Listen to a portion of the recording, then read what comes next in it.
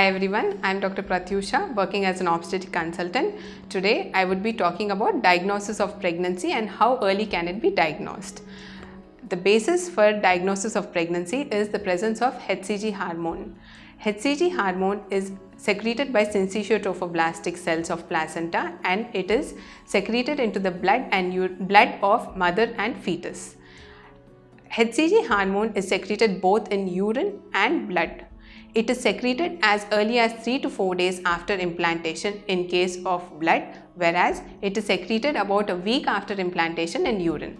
So, the urine pregnancy test can diagnose pregnancy as early as 2 days prior their missed period to one week later after they have missed period depending upon the levels of HCG hormone in urine.